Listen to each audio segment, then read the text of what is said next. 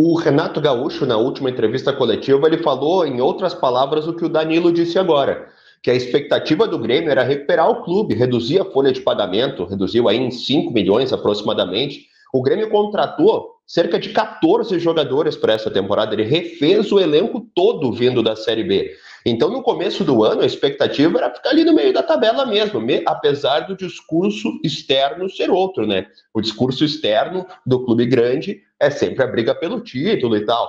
Mas a verdade, a realidade é que o Grêmio vinha de uma Série B que não foi fácil. O Grêmio teve dificuldades para conseguir subir, até as últimas rodadas estava ali oscilando. O Renato chegou, consertou o trabalho e levou o Grêmio de volta à elite. Aí teve eleição, chegou muita gente e o que realmente impulsionou a expectativa foi o Luiz Soares, que agora vive essa contagem regressiva, já que na próxima temporada ele deve atuar lá no Inter Miami, do lado do Messi, nos Estados Unidos. O jogo de hoje, pessoal, conta com alguns reencontros, e são reencontros até meio clichê, meio clichês, alguns deles, né? O Renato Gaúcho com o Flamengo, Renato Gaúcho que foi jogador e técnico do Flamengo também, hoje comanda o Grêmio.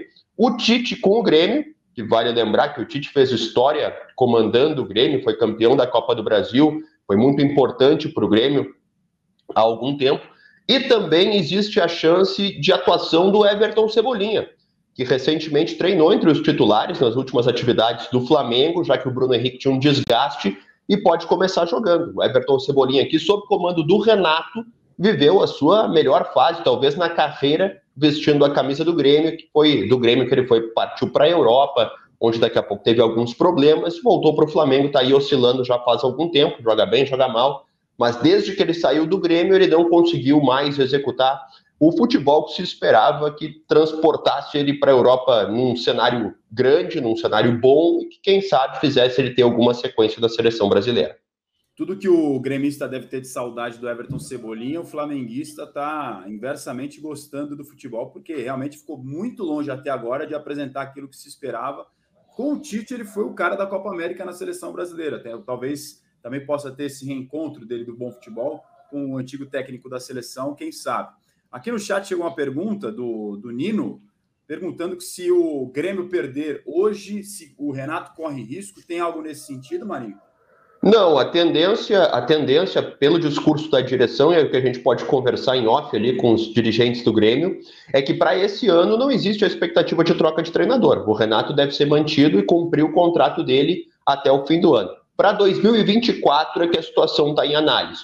Porque o Renato vai pedir investimento, porque depende muito da onde o Grêmio vai chegar no campeonato, de quais competições vão estar no calendário do ano que vem do que, que a diretoria pretende fazer para repor a saída do Luiz Soares. Vai chegar um jogador de mesmo porte, de mesmo porte é difícil, né? Porque o Soares é uma estrela mundial. Mas. E perdemos a conexão. Derrubaram o Marinho. Com o Marinho Condicionar, quem sabe, a permanência ou não Voltou, do, Marinho, do Renato. Não, você estava falando e interrompeu o seu raciocínio no meio. Desculpa, não, eu dizia que é, vai depender, vai depender muito dessa capacidade de investimento, a permanência ou não do Renato no ano que vem. É, tanto por parte da direção quanto por parte do Renato. O próprio Renato ainda não quer conversar sobre isso, diz que vai falar com a direção só no fim do ano. A direção diz que gostaria de permanecer com ele, mas que também não quer tratar desse tema agora. Então vai ser um assunto para depois, mas é só sobre 2024. Para esse ano, o Renato está garantido ao menos até o fim da temporada. E tem, olha só, mais dois jogadores, dois reencontros uh, pouco uh, lembrados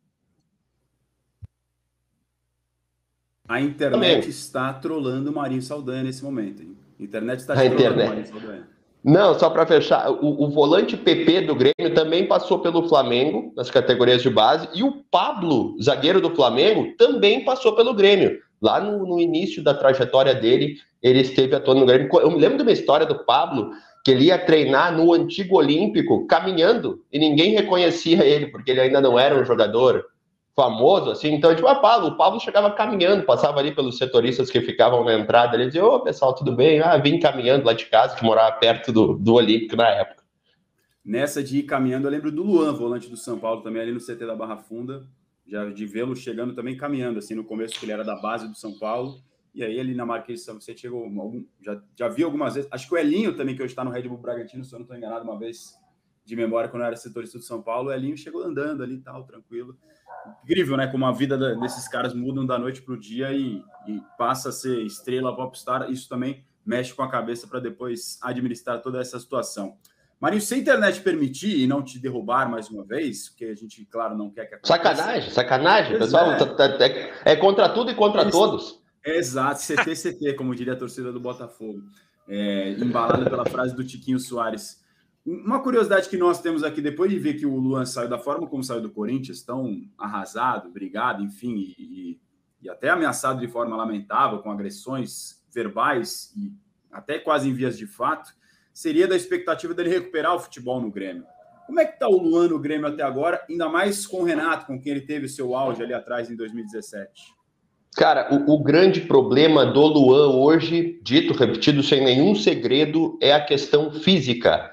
Ele não tem condições de jogar em alto rendimento durante 90 minutos. Ele consegue fazer ali 15, 20, 30 minutos, mas a condição física do, do Luan, talvez por ter atuado tão pouco na temporada, deixa ele atrás dos demais. Tanto que o Grêmio tem muitos problemas no setor ofensivo. Não vai contar com o Luiz Soares, o Ferreira não tem jogado bem, o João Pedro Galvão vem de lesão e também é dúvida, e o Renato está para utilizar um ataque formado pelo Natan Fernandes e o André Henrique, e não está considerando utilizar o Luan nesse momento. Ele tem essa questão de não conseguir estar no mesmo nível, no mesmo ritmo, ele tem sido elogiado por comparecer nos treinos, por se esforçar, por tentar, ele está se comportando, mas até agora não atingiu o melhor futebol, o nível esperado, ou teve uma rotina, uma frequência em campo até esse momento. O, eu ia te liberar, mas o chat soltou uma aqui. O Magnus Carvalho falou assim: Douglas Costa tá na pista, hein, Marinho? Era exatamente o que eu Tá na pista. Também, mas sabe, Costa a relação. No mercado é a cara do Grêmio. Mas sabe que a relação Douglas-Grêmio é muito ruim, né? Pois Depois é, né? do que aconteceu que no ano do rebaixamento, né? No tchauzinho e tal. E o Douglas, ele recentemente, publicamente, cobrou uma dívida do Grêmio. Que o Grêmio parcelou a rescisão com ele e o Douglas disse: Olha, até agora ninguém me pagou nada. Então, tem essa questão eh, jurídica, digamos assim, essa dívida de justiça, de pagamento, de rescisão, mais a relação ruim do Douglas com o Grêmio, então eu seria capaz de dizer que nesse momento a chance ela é muito pequena, ela beira o zero do Douglas Costa voltar ao Grêmio. Inclusive o empresário do Douglas recentemente surgiu um rumor de ah, tá de reunião com o Grêmio, não sei o que e tal. Ele publicou uma nota oficial dizendo: olha, nós não nos reunimos com o Grêmio, o Grêmio ainda nos deve, então não tem nenhum tipo de indicação nesse sentido, pelo menos agora. É, não faria muito sentido mesmo, Lavieri. É, mas é, não faria sentido, mas assim sabe, né? Agora, como o Marinho falou, dívida. Ah, vamos fazer um acordo aí, joga não sei quanto, paga assim, assim, assado e parcelado. É, vamos perder o Luiz Soares, o Douglas Costa quer voltar, mas enfim, eu entendo. Eu acho que não, não faria sentido por tudo que o Douglas Costa fez ali na, na saída dele do Grêmio, no rebaixamento. Achei que foi muito feio, foi muito ruim mesmo. Ainda mais um jogador identificado ter feito o que fez. É um negócio muito, muito ruim. Aí, agora, ao mesmo tempo, eu olho para o outro time aí no, no, em Porto Alegre. Eu também, por exemplo, não teria ido atrás do Cudê. E os caras foram também atrás, deixaram essa, essa questão de lado. Então, no final, às vezes no futebol tem muita coisa que, que é perdoada, viu, Azan? Eu, Lucas eu no lugar do Grêmio. Pois é, eu no lugar do Grêmio não iria no lugar. No, não iria atrás do, do, Douglas Costa nunca. Eu, no lugar do Santos, não iria atrás do Lucas Lima nunca. Mas chega no momento ali, uma hora, com essa dívida, fala, pô, oi sumido, sabe? Sabe, Azé? Oi sumido. Não, e tem outra coisa. O, o, Renato gosta muito do Douglas, e quando o Douglas estava pensando em deixar o Los Angeles lá, aquele, em que ele atuava, Los Angeles Galaxy, o Renato entrou em contato com o Douglas. Ele chegou a ligar para o Douglas para saber qual era a situação dele. Então, essa relação com o Renato, vai que o Renato permaneça, vai que tenha essa dívida, pode ser, eu, eu, né? Uma coisa que vai ficar para os próximos capítulos dessa novela chamada futebol. Vamos ficar de olho nesses próximos capítulos, porque sempre promete. Marinho, se você quiser retornar amanhã para falar mais de Grêmio e também do Inter, que joga contra o Vasco, sabe que o convite já está mais do que feito. Obrigado, viu? Não, com certeza. Estaremos aí para falar do Inter, falar do Eduardo Cudê. Danilo, não fala mal do Eduardo Cudê, porque a torcida do Inter é apaixonada por ele agora, principalmente depois do 7 Eu senti na pele. Eu fiz um post Nossa. na época que o Cudê voltou, que não fazia sentido, que era falta de amor próprio. Rapaz, meu Instagram. Não. Nossa. Fala mal, fala mal de quem tu quiser, menos do Eduardo Cudê. Isso é, não, não, é proibido. É Se discordar do Eduardo Cudê já é ruim. Imagina falar alguma coisa. Mas, gurizada, é isso aí. Precisando de mim, eu tô aí. Amanhã, com certeza, eu falo de Inter e Vasco.